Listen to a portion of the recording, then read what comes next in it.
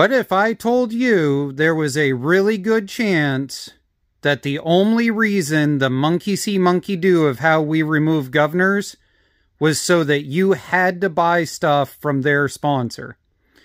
A lot of old timers have blown up my inbox, my emails, my comments, my whatever, with the idea that you do not have to cut this.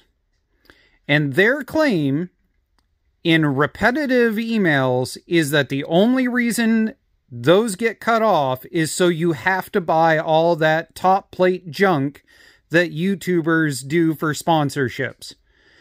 If that's the case, I can't believe it because there are so many people that got conned into buying stuff they didn't need if that's true. The other side to this is this tapered shaft. The reason we're doing this project is to prove or show or figure out if these generator engines could be used on cheap go-karts and cheap uh, bikes and things like that. With that being said, most of them are going to use something like this. We wanted to see whether a regular side panel would fit so that we could be able to put a torque converter on one of these if we really wanted to. The answer is yes, it does fit with some love. I'll post a link for that video down in the description. But we need this to fit. Now, there's nothing new whatsoever about the idea of starting an engine, grabbing a couple of grinders, usually a grinding disc, in this case a flat disc, and usually a flap disc of about 60 grit, and slowly, while the engine is running, turning down the shaft.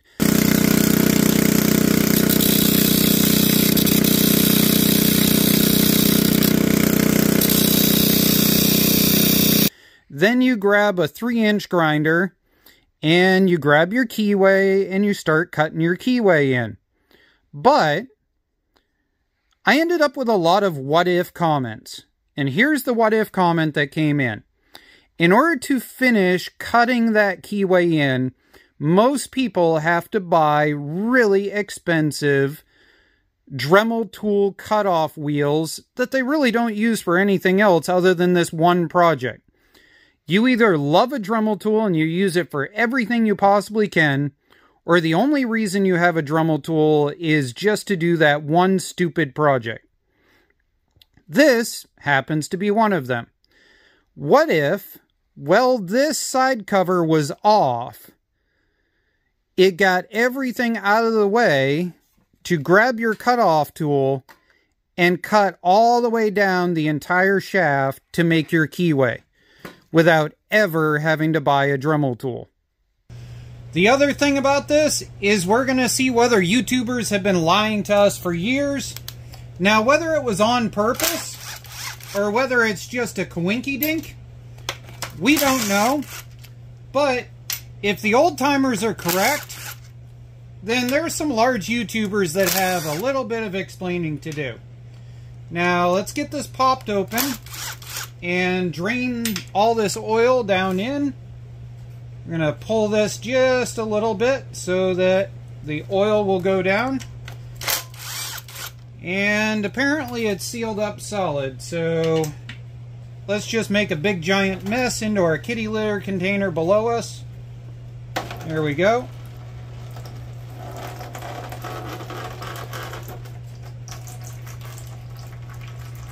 Now I can see a nice silver color coming out in that oil, which we were expecting. If you saw the previous video, you would know why we're expecting to see silver.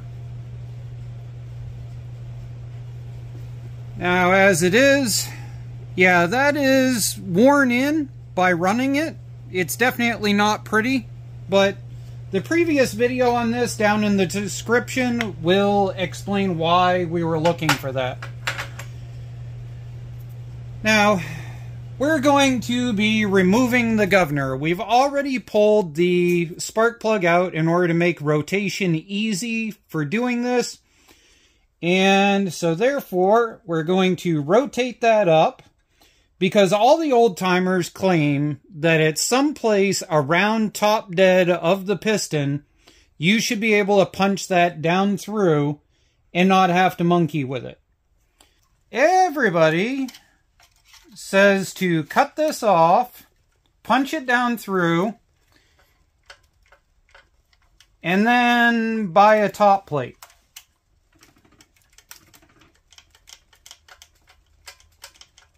But there's a bunch of old-time go-kart guys that say that that is just plain a lie.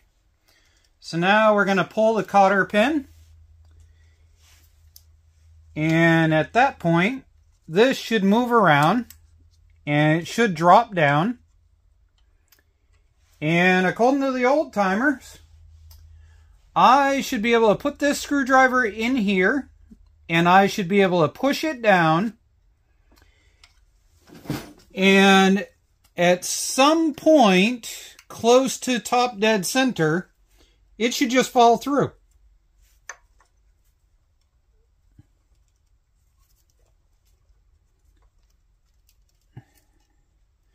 So, so far, not happening.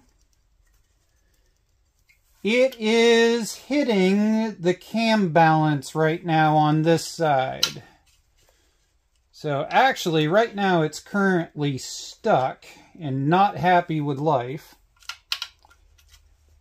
Yep, if anything, it is definitely stuck.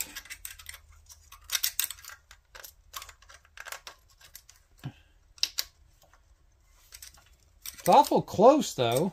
It does feel like it probably would go. Well, I wonder if we give it a tap. Because at this point, it's an experimental. We don't really care. We've got it lined up. Small screwdriver. If we give it a tap, will it drop down in? Oh my word.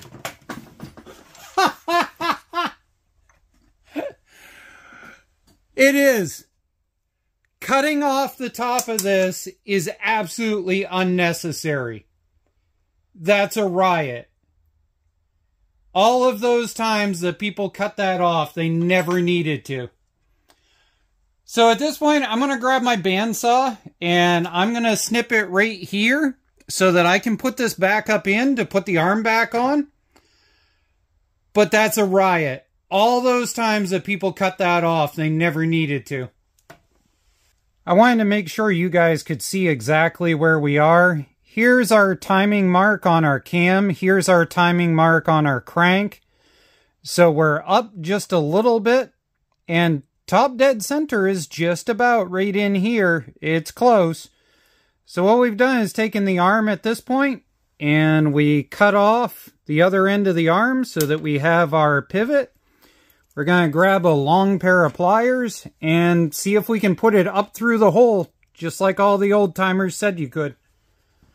So now we're going to come in here and we're going to fiddle around. And right there. Holy cow. There are a lot of YouTubers that have some explaining to do now.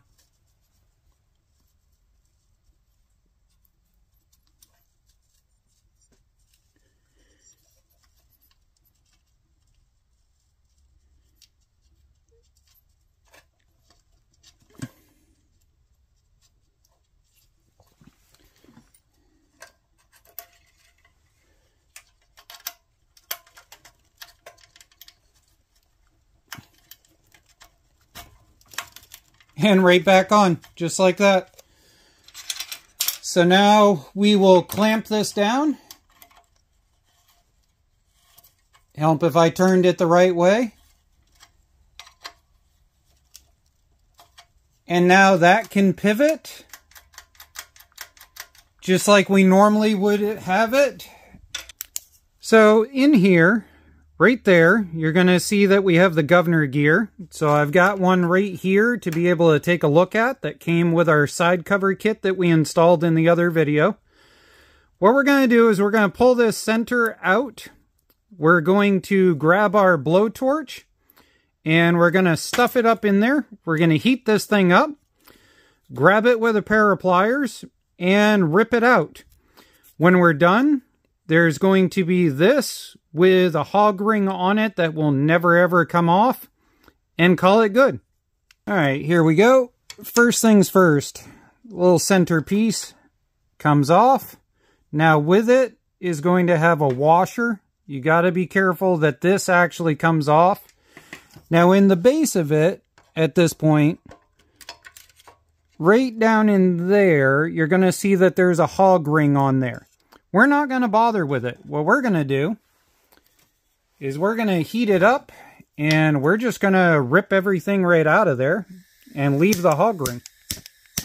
Now is a good time to state that if you've been having carburetor issues, this is a bad idea because that would have gas in it. So we're going to hope that I managed to fix the carburetor the other day.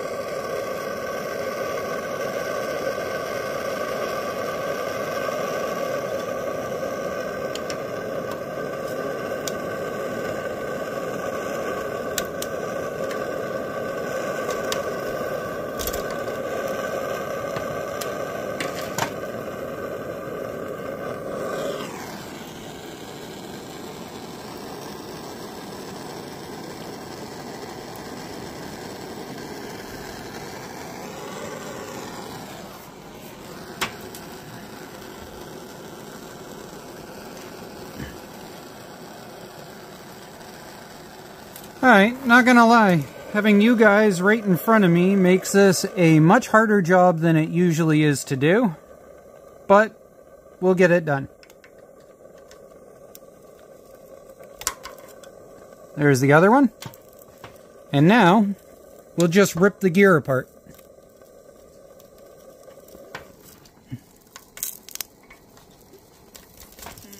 There we go. A little smoke across the water there.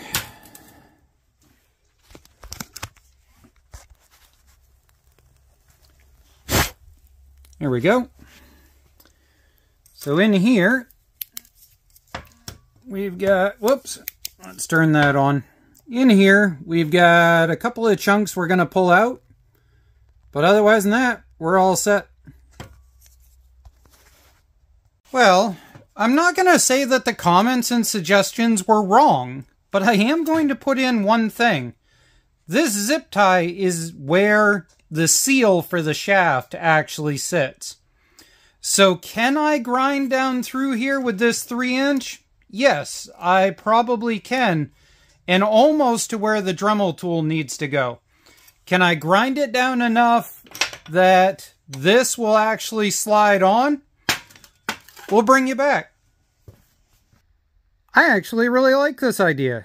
Except for, I need a 2-inch grinder, not a 3-inch grinder. So with the 3-inch grinder, I actually made it, I could only get to here before. I made it all the way to here. If I had the 2-inch, I could probably make it about another quarter of an inch. But right now, I'm just starting to nick that zip tie right where the seal goes. So if we take this, the problem is these have a little bit of a keyway right there. If I ground it out, I bet I could get it to fit all the way on. Now, that's really close. It's going to work for what we're doing. As you can see, it's not overly out from the end. So we're going to call that happy. We did get a few specks of metal in the oil. But that's to be expected. It's an experiment. You can't win them all. Let's get it buttoned back together and fired up. Always, always, always check your timing before you put your side cover back on. Always.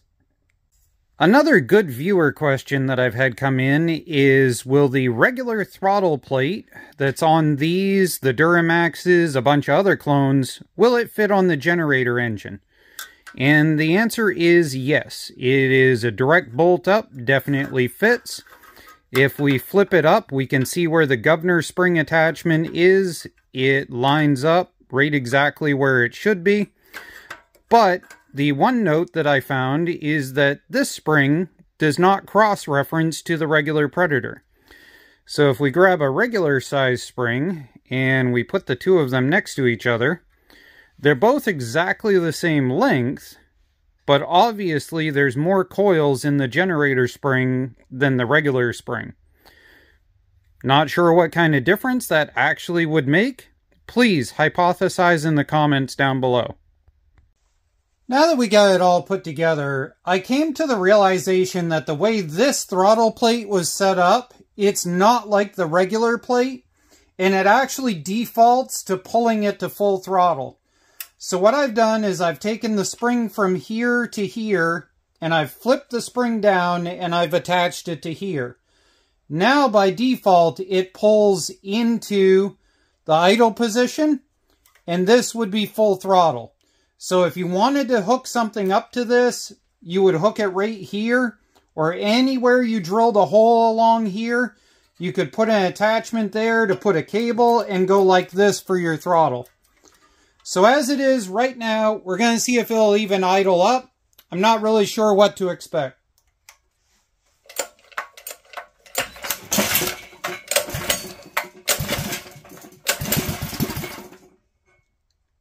Okay, give it half choke. That wasn't good. Okay, we're going to screw our idle screw in. So I was expecting this to have issues with idling. It's not uncommon after a governor delete. So we're going to screw the idler screw in about a third of a turn.